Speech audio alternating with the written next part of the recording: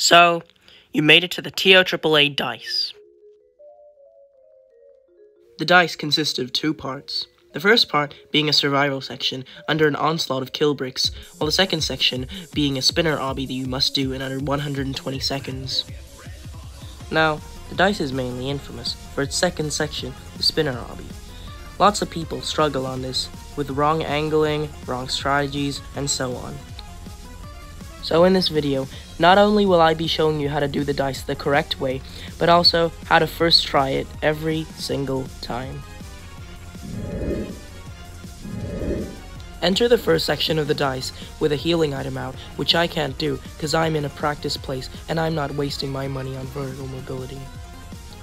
This may look easy, but it's actually pretty tough, and you can die really easily. Luckily, it's almost over.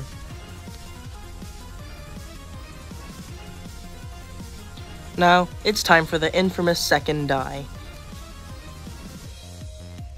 Do this first jump from the corner of the two interconnecting platforms like I did, or you will fall. Jump from the bottom left corner of the platform, and then angle in.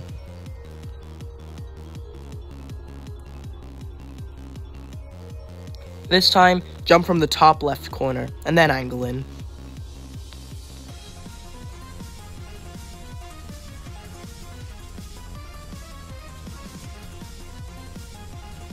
I've seen a lot of people struggle on this jump.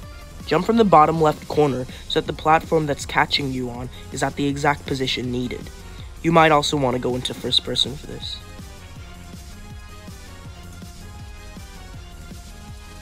This is a filler jump. Still be careful though.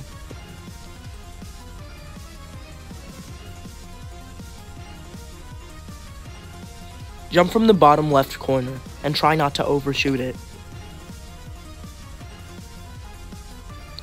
This is the final jump of the dice.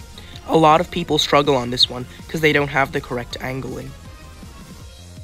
Tilt your character to the left, parallel to the direction in which the dice is moving. It's hard to explain, so in other words, just move with the dice. If you fail to do this, this could happen. I hope you all have enjoyed my video on how to do the TOAAA dice. Thanks for watching, and remember to like and subscribe, guys.